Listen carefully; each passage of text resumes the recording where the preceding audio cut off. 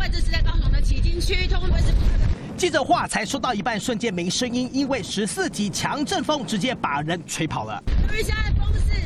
试着抓起麦克风，但才说一句话，又被狂风吹到原地打转，紧装安全帽，弯腰蹲低躲避，但还是被狂风推着走。三多台风从高雄登陆前，旗津就开始刮起狂风暴雨，树叶剧烈晃动，似乎下一秒就会被吹断，大浪狂卷，视线一片雾茫茫。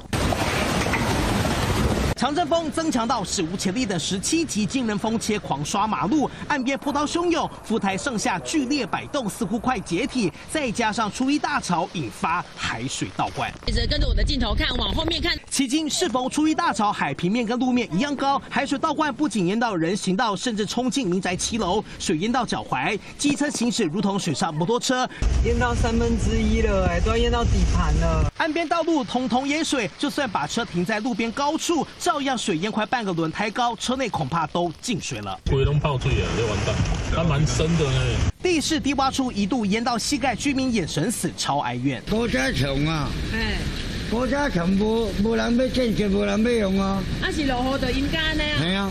高雄一到三号已经放了台风假，四号可能再放吗？再加上周末假日两天，高雄恐怕一口气放了六天的假。无论如何，台风造成灾情，就等台风过境，好好再来清理家园。记者洪凤林追王书红高雄报道。